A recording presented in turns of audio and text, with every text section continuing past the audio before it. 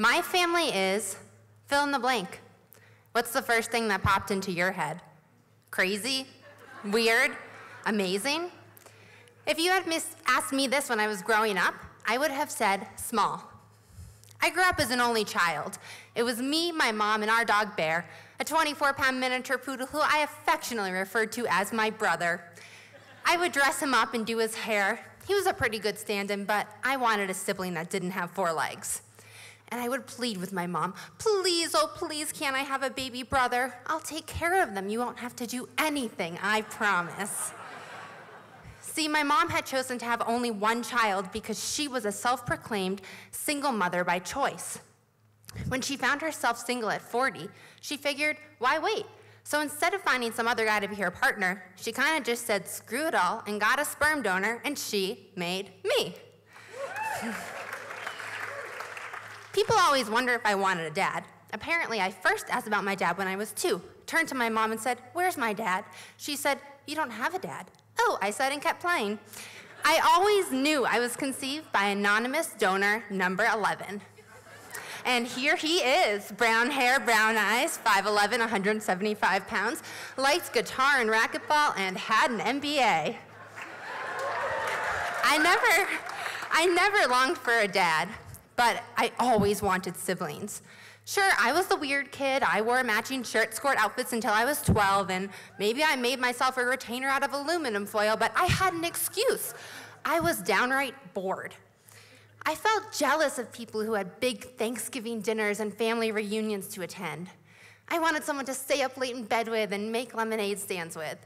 And when I was 17, that wish came true, but in a much different way than I imagined the Donor Sibling Registry, a website where I paid $99 to see if anyone else shared the same sperm donor as me. And I found five, five half siblings who shared donor number 11.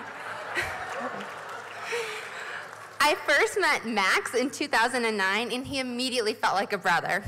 We met on a beach in Florida and have since shared three Thanksgivings together, trips from California to Colombia, and I was at his wedding this past weekend.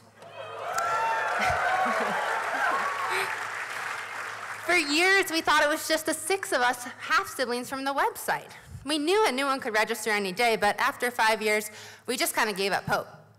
Then, in 2015, the DNA testing service 23andMe gained popularity. You send in some saliva, and most people use this to learn about their genetic history and ancestry, but you also get to see a database of DNA relatives. We started discovering new siblings almost every month. I met my first sister, Frances, last June, and meeting her felt like running into someone I'd known my entire life. We share almost the same mannerisms, and we're always looking for things we have in common. Can you sleep 12 hours straight? Me too. Do you have a square forehead? So do I. I started off as an only child, but I now have 17 siblings and counting. That number grew just last week. Many of my siblings' parents lost their donor info, but others were never told. Now, anytime someone takes a DNA test, they discover a whole new world of family. And we're planning our first half sibling union for August. We've been using a Google spreadsheet to keep track of new additions, but we might have to get ourselves a Slack channel soon. Because while many countries limit the number of offspring per donor, the US does not. And people have discovered up to 189 half siblings. And we just found a new first cousin the other week. He had to be the nephew of our donor, but he also had a sperm donor dad too. We were confused. But turns out, plot twist. Our sperm donor dad had a brother, our uncle, who was also a sperm donor. If you had asked me 10 years ago, I would have said my family is small.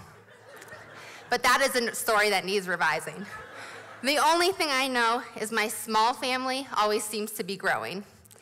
And I was in a unique situation to find new family, but I created one in my own way too. So, whether you love the family you grew up with or always wish you had a different one, I challenge you to fill in the blank with whatever you want your family to be today. Because I believe family is what and who we make it. Thank you.